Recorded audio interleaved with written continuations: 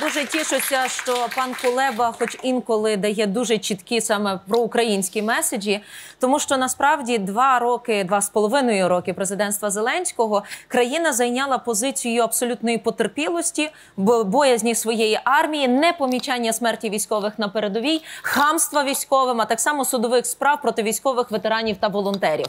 І я направду не знаю, що заставило зараз дещо поміняти військове керівництво, зокрема щодо призначення верховним головнокомандувачем пана Залужного.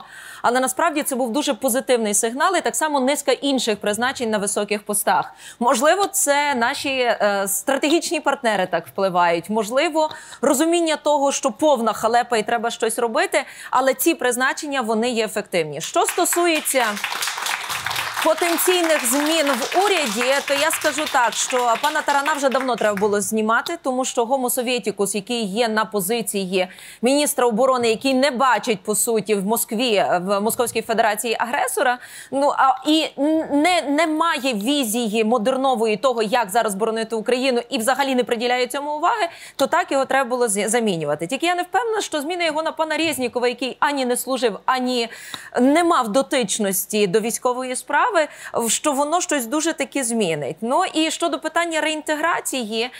Ем, коли на міністерство реінтеграції зараз намагаються призначити людину, яка всіляко розказує, який Бужанський хороший, а от В'ятрович поганий, бо він знищив Україну, то що з ким вона буде збиратися реінтегрувати? Там Медведчука назад з Україною чи буде реінтегрувати Москву на українську територію? Ну але називається дай Боже, щоб вдалося. Хто його знає, може раптом теж щось клацне і як залужним на позитив зміниться. Але дуже важливий момент полягає в тому, що Україна має відновити риторику дуже чіткого позиціонування як на міжнародній та внутрішній інформаційній арені, хто напав. Тому що вся виборча кампанія Зеленського, все його президентство крутилося навколо того, що поганий Порошенко, бо він якось не так захищав Україну.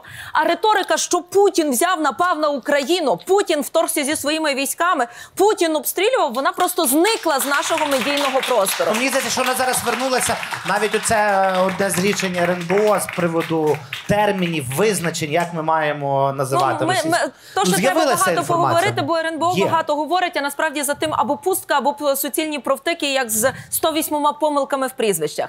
Другий важливий момент. Україна так має право на захист. І якщо наші партнери, до речі, в щодо північного потоку там резолюції були, що було написано? Що якщо раптом Московська Федерація буде робити щось не так, ми будемо застосовувати санкції.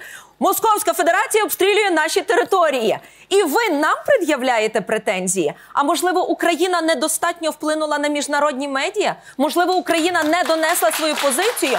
Україна за часів Зеленського зруйнувала іно іномовлення.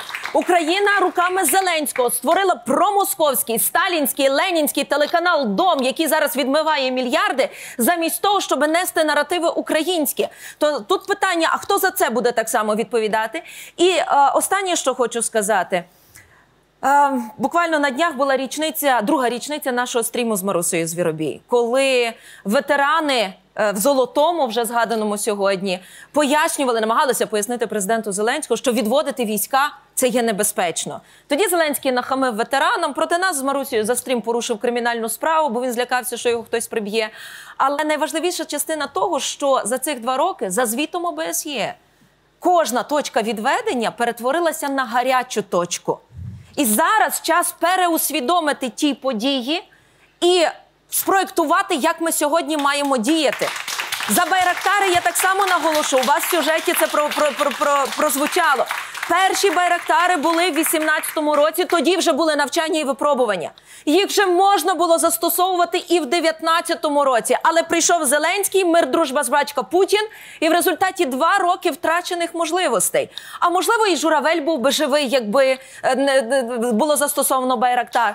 А можливо, би в золотому і в пісках у 20-му році не було би бійні, якби був застосований байрактар. І я дуже сподіваюся, що зараз Зеленський не спустить свою сфору на залужного і його підлеглих, і справжнім бойовим генералам і командирам дадуть нарешті можливість захищати українську державність.